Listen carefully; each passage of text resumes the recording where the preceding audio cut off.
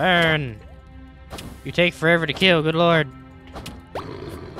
Burn! Probably because you're not supposed to be killing him yet. There we go, killed him. I kill your little babies too. Ow. Jesus, you're genocide. I take all your torches, they shall be mine. So will your boxes. I take all these big boxes. Not only for the men and the women, but the children too.